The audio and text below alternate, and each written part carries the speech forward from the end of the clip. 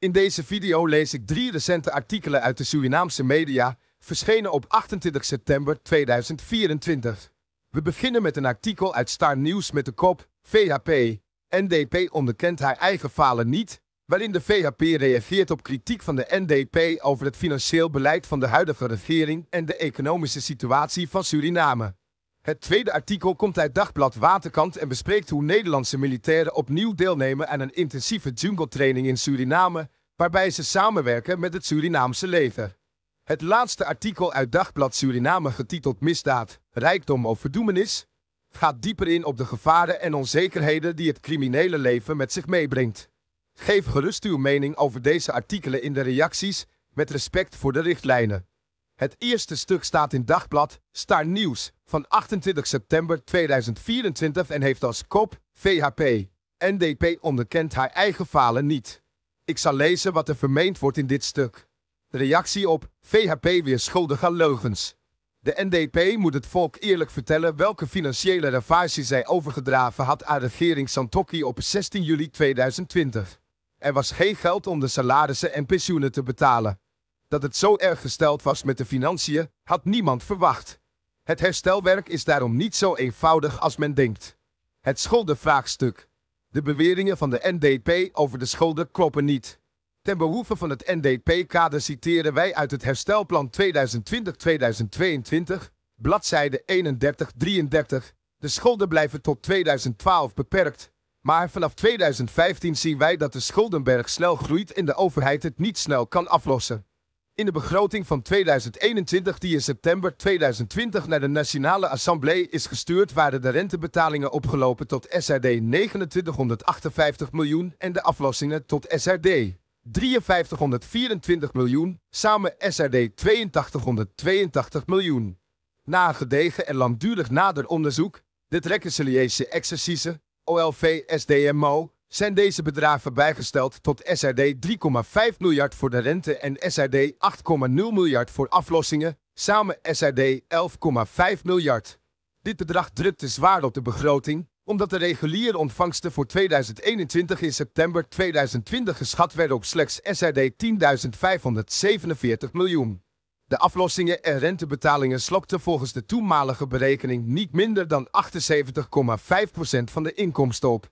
Het totaal van de geregistreerde schulden van de staat per eind december 2020 was SRD 57 miljard. De schuldenratio, het slash GDP, voor 2020 was 159% van het BBP in 2020. Er staan nog 225 leningen open, 169 in vreemde valuta en 56 in SRD, die in de periode 2010 t en juli 2020 zijn gesloten. Er is een tabel hierover in het herstelplan. De aflossingen blijven tot en met 2025 erg hoog en vormen één te grote belasting voor de reguliere overheidsbegroting. Nadat de regering Bouterse slash Adhin in juli 2020 de regeerverantwoordelijkheid heeft overgedragen aan de regering Santokki slash Brunswijk is gebleken dat het schuldenvraagstuk dus veel groter was dan aanvankelijk was aangenomen. Op vele ministeries waren niet betaalde rekeningen achterverlaten, sommige van een aantal jaren oud. De regering zag zich genoodzaakt een standstiel voor betalingen af te kondigen en heronderhandelingen te beginnen over schuldherschikking. Daarnaast moest het IMF betrokken worden om wat financiële ruimte te scheppen. Als dit niet was gebeurd, zou iedereen nu anders piepen en echt pinaren. Inmiddels is de macro-economische stabiliteit bereikt. De NDP vertelt niet hoe zij de crisis zou hebben opgelost. De wisselkoers. Volgens de oud-voorzitter van de VS, Winston Ramout Arsing, is de eerste crisis begonnen in de jaren 80, tijdens de militaire periode. In 1996 kwam regering Weidebos, die in vier jaar tijd de koers heeft gebracht naar SF 3,600.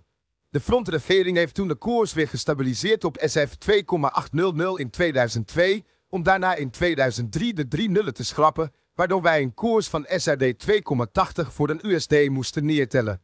In mei 2020 was de koers bij de Cambio's al SRD 20. Volgens de onafhankelijke macro-analyse van Marijn van Schaik en Gerard Lausau, indien het NDP-beleid zou worden voortgezet, de koers voor een Amerikaanse dollar in 2021 bij de Cambio's al SRD 52 zijn. In de periode 2022-2025 zou het zelfs gemiddeld SRD 199 worden. Het is voor eenieder, die tenminste wil lezen en begrijpen, Duidelijk dat het beleid moest worden bijgesteld. Dit is ook gedaan en daardoor is de koers vandaag niet ver boven de SRD 100 of zelfs SRD 200, maar in de buurt van SRD 30. Door goede beleidskeuzes heeft de regering de samenleving voor zeer grote armoede behoed. De NDP zegt dat ze blijft pleiten voor eerlijk en transparant beleid dat de belangen van de Surinaamse burgers centraal stelt. Sinds wanneer? Verwezen minister Armal Afebersing. Wanneer je weet dat er op 16 juli wordt overgedragen, heeft Hoefdraad middels een schriftelijke opdracht van Bouterse, getekend op 10 juli 2020, opdracht gegeven aan de SPSB om SRD 272 miljoen weg te maken. Dan durven deze mensen te beweren dat zij hard hebben voor het volk.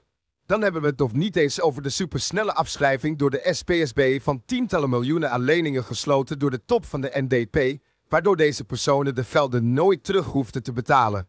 De NDP wil het volk zand in de ogen strooien en ophitsen tegen de VHP. Laat men goed wakker blijven en zelf nagaan wat waar is. Hiermee sluit de VHP deze discussie af. Het tweede stuk staat in Dagblad, Waterkant van 28 september 2024 en heeft als kop Nederlandse militairen trainen opnieuw in jungle van Suriname. Ik zal lezen wat er vermeend wordt in dit stuk. Voor het derde opeenvolgende jaar zijn Nederlandse militairen aanwezig in de jungle van Suriname voor een intensieve training. Tussen oktober en december zullen een compagnie van de luchtmobiele brigade en een peloton van het Korps Mariniers, in totaal ongeveer 100 militairen, deelnemen aan de uitdagende jungle warfare, instructors, course.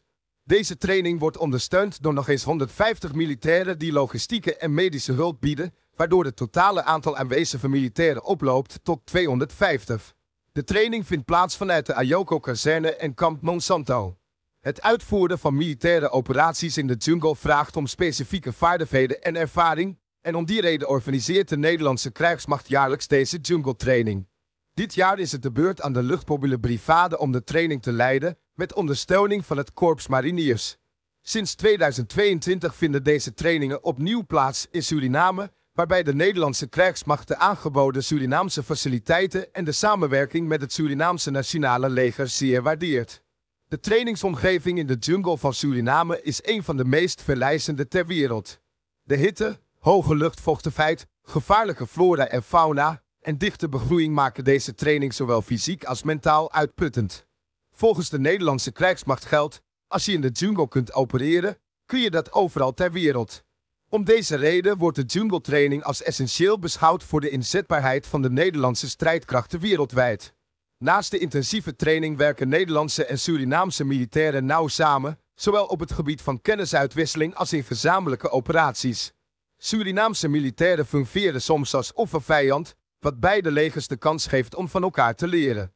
Daarnaast wordt er samengewerkt aan opknapwerkzaamheden in en rond de Ayoko-kazerne.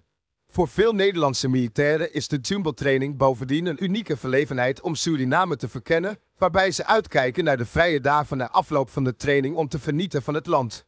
Het derde en laatste stuk dat ik voor nu ga voorlezen, heet Misdaad, Rijkdom of Verdoemenis. Ik zal lezen wat er vermeend wordt in dit stuk. 28 september 2024 Dagblad Suriname, te Paramaribo, Suriname. In Suriname hebben we gezien dat mensen worden verliquideerd zonder dat deze zaken ooit worden opgelost. Mensen verdwijnen spoorloos. De redactie van Dagblad Suriname vroeg een expert of misdaad daadwerkelijk loont. Hoewel sommige criminelen erin slaven rijk te worden als ze hun vak goed uitvoeren, is de keerzijde altijd aanwezig. Een voorbeeld hiervan is een beruchte drugsbaron die aanzienlijke rijkdom vervaarde door de drugshandel. Hij bouwde lucratieve netwerken op en werd miljonair. Maar met die rijkdom kwamen immense zorgen. Waar laat je bijvoorbeeld het geld? Dezelfde baron verstopte zijn fortuin in verschillende offshore bankrekeningen en onroerend goed in buitenlanden, maar het constant verplaatsen van geld om detectie te vermijden was een stressvolle aangelegenheid. Daarnaast vertelt de expert dat buren vaak argwaan krijgen bij plotseling welvarend uitziende individuen. Ze moeten altijd bedacht zijn op nieuwsgierige vragen. Een andere crimineel investeerde in een luxe thuis, maar vertelde zijn buren dat hij een succesvolle ondernemer was. Echter, geruchten verspreidden zich snel en uiteindelijk viel hij alsnog door de mand. De onderwereld biedt geen conflictbemiddeling zoals rechtbanken, problemen worden op eigen houtje opgelost. Een dief die besefte dat zijn partner hem bedroog bij een deal, nam het recht in eigen hand. In plaats van juridische stappen te ondernemen, trok hij zelf ten strijde, wat resulteerde in een destructieve en gewelddadige vendetta.